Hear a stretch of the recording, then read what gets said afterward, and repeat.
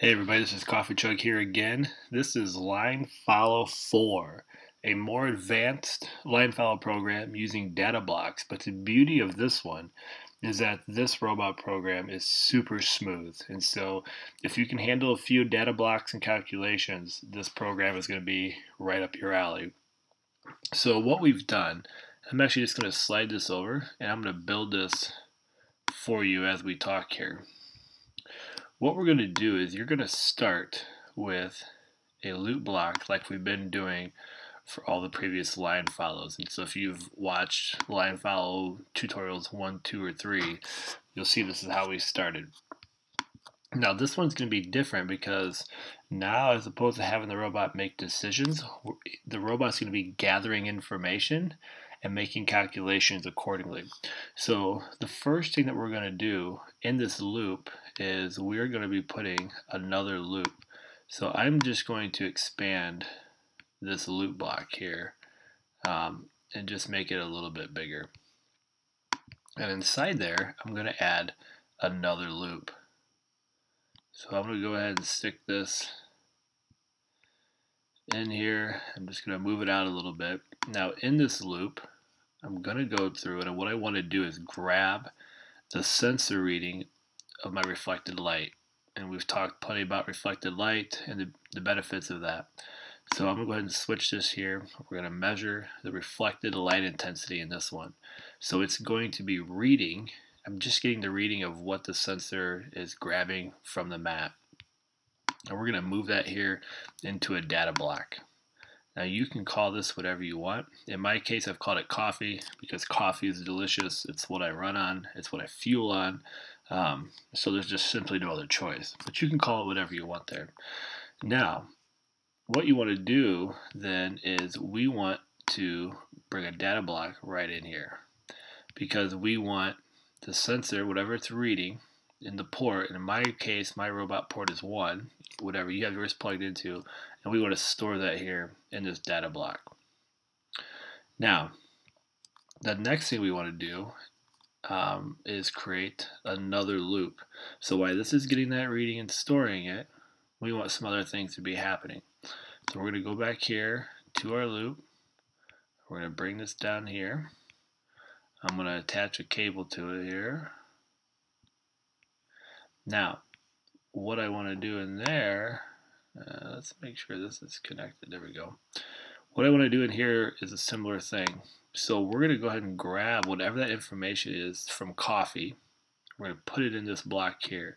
But we're not writing this number. We want to read it. So here we're giving this block a value. Coffee is going to have a number between 1 and 99 depending on the light threshold. So we want to read that, whatever it is that we're reading. And we want that a numeric value. And then we're going to do some math here. And so one of the things I know when I work with kids and, and talk with people is they don't realize that the robot can actually do math calculations. So we're going to move this. We don't want to add. We actually are going to do some subtraction here. And we're going to take this block and make this A. So whatever this value is up here in this sensor right here, it's going to get stored down here. And we're going to plug it in for this A value. Now, earlier, we've done some different calculations and, and, thresholds and so forth. And so you're going to have to kind of play around with this a little bit. Um, and so you can see, let me go back over here for a minute. In this program, I have kind of taken two different values.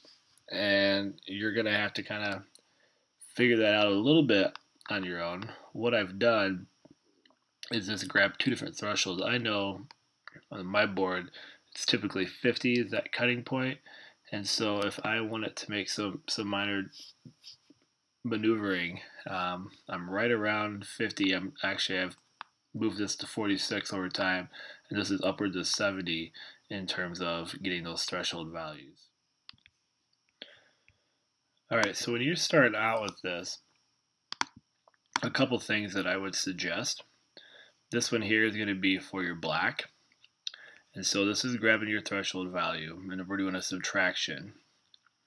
Now, in my example, I've got, excuse me, 46 and 69. What you're going to want to do is start with actual threshold numbers. So for me, mostly my robot hovers for black at around 10. Um, and so you may want to start there and then you can adjust this number to get it as precise as you would like. The next step then is we're going to do some multiplication. So we're going to add another calculation block here. And this time we're going to switch this to multiply. And so we're getting our threshold value here, stored in this block. We're adding it here to A. Whatever this number is, minus 10, because this is going to be for black here. I'll put a comment up so we know.